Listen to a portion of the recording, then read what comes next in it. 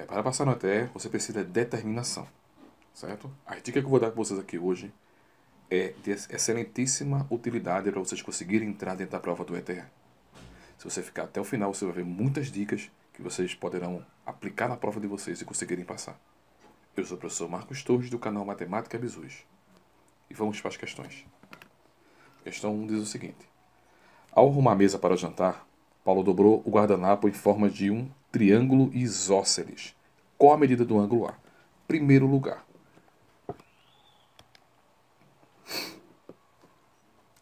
O triângulo isósceles, ele, o que acontece com ele? O triângulo isósceles tem que lembrar de uma coisa.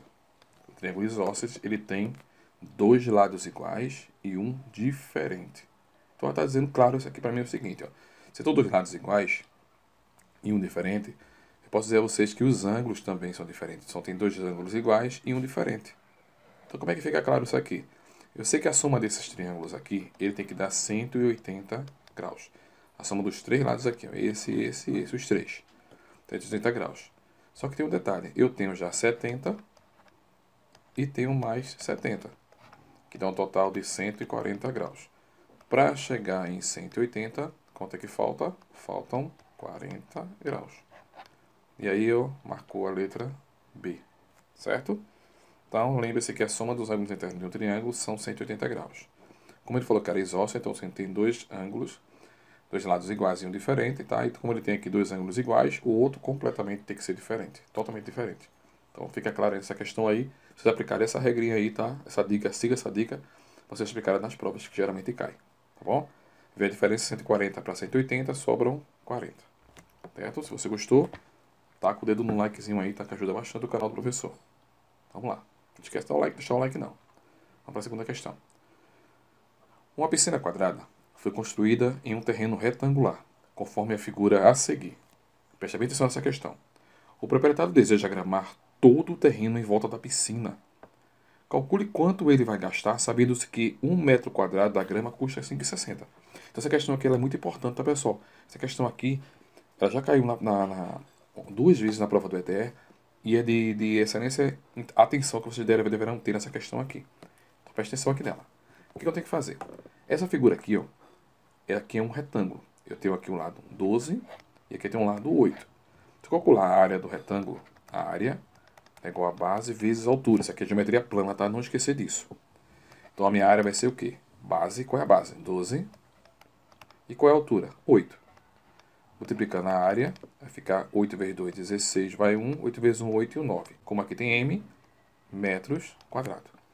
Só que se você observar direitinho, não tem isso aqui aqui. Só que ele falou o que na questão? O, o proprietário deseja gramar todo o terreno em volta da piscina. Calcule quanto ele vai gastar, tal, tal, tal, tal, tal. Então ele quer gramar isso aqui, ó. Aqui é a piscina, não, aqui é a piscina. Ao redor ele vai ter grama. Só que precisa tirar a piscina. Ele não vai gramar a piscina, ele vai gramar só o que está aqui ao redor. Então, quanto é o tamanho da piscina? Se você observar direitinho, aqui eu tenho um lado 4 e aqui também é 4 também. Aqui isso aqui é um quadrado. Quando ele não coloca a medida, já sabe que é lados iguais. Também aqui é 4 e aqui é 4, certo? Só que não precisa disso, eu preciso trabalhar só base vezes altura, o lado vezes ala, lado. Então a, a área do, do quadrado, vou botar aqui quadrado, é igual a lado elevado ao quadrado. A área do quadrado é igual a quem? L é 4, 4 ao quadrado é igual a 16, certo? 16 metros quadrados. Então até aqui beleza. Só que o que ele quer na questão? Ele quer tirar essa medida aqui, então vai ficar como? Vai ficar 96 tirando 16, porque é a parte da piscina que não interessa para mim. Só quero a parte que não, que, que não tem piscina. 6 para 6 vai dar 0, 1 para 9 vai dar 8. Então aqui eu tenho 80 metros quadrados, que é isso aqui que vai ser gramado. Só que ele diz que cada metro equivale a quanto? 5,60. Então vamos lá. 5,60 multiplicado por 80. Então, ó, 8 vezes 0 vai, é, 0 vezes 0 vai dar 0, 0, 0. 8 vezes 0 dá 0. 8 vezes 6, 48 vai 4. 8 vezes 5, 40. Com 4, 44. Aqui vai dar 0, 0, 8, 4, 4. Eu tenho duas vírgulas aqui, ó. Então, uma, duas. Então, a, a medida vai ser, o valor vai ser 4, 4, 4, 8. 4, 4, 8, letra C. Certo? Essa questão é bem simples. Calcular a área total, calcular a área do, do, da piscina. A área total menos a área da piscina vai ser a área que eu quero, eu quero gramar. Só que ele diz que cada metro quadrado equivale a 5,60. Então aqui eu tenho 80 metros quadrados. 80 vezes 5,60 vai dar exatamente 448. Certo? Se você gostou aí, deixa o likezinho aí, tá bom? Deixa o likezinho aí para ajudar o canal, se possível. Beleza? Vamos lá para a próxima questão. Qual o resultado da expressão dada pelo triplo do quadrado de menos 5? Questões, esse, esse tipo de questões aqui é um tipo de questão que ela cai muito em prova da interpretação de texto, onde vocês deverão montar a primeira questão e depois saber realmente o que a questão quer. Então tem que ter cuidado com a linguagem matemática que tem esse tipo de questão, tá bom? Então vamos lá. O ETE, ele trabalha muito com isso aqui, tá? O ETE, a Escola Técnica Estadual, ela trabalha muito com esse tipo de questão nas provas, então tem que ter muito cuidado. Então vamos lá para a questão. Diz assim: qual o resultado da expressão dada pelo triplo? Triplo três vezes, né? 3 vezes o quadrado de menos 5. Ó. Menos 5 elevado ao quadrado. Somado com a quarta potência. A quarta potência de quem? De 3. Ó. Então eu vou botar menos 3 elevado à quarta. quarta terceira potência, quarta potência, quinta potência sempre em cima, tá?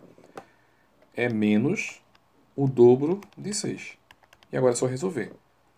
3 vezes 5 ao quadrado é 25. Por que, por que par? Porque aqui ó, é par, fica positivo. Então 25. Mais 3 a, quarta, 3 vezes 3, 9. 3 vezes 9, 27. E no caso é como se tivesse isso aqui. Ó. 3, 4 vezes. 3 vezes 3, 9. 3 vezes 9 é 27. 27 vezes 3 vai dar 81. Certo? Como aqui é par, ele vai ficar positivo. Então 81. Menos 12.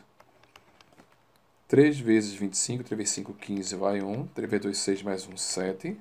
Mais 81, menos 12. Vou somar esses dois. 81 com 75, 156. E agora eu vou tirar 12 da questão. 2 para 6 vai dar 4. 1 para 5 vai dar 4 também. E a resposta vai dar quanto? 144, letra C. De novo, como tinha dado lá em cima. Como vocês perceberam aqui nesse tipo de questão, vocês perceberam o que nela? que aqui eu tenho uma questão de interpretação de texto, certo? Que é o tipo de questão que você tem que ter muito cuidado que cai em prova de ETE.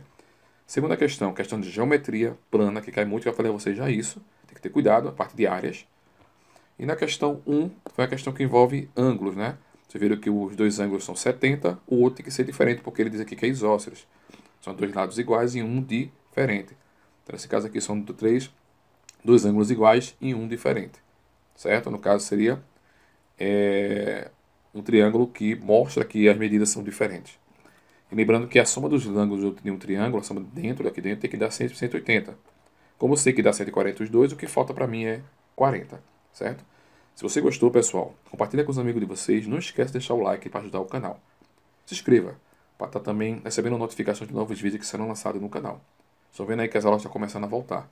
Então, à medida que volta, se voltar, vai abrir as inscrições. Então, você tem que estar preparado para isso. Tá bom? Então segue o vídeo, segue o canal, compartilha com os amigos de vocês e até o próximo vídeo, se Deus quiser.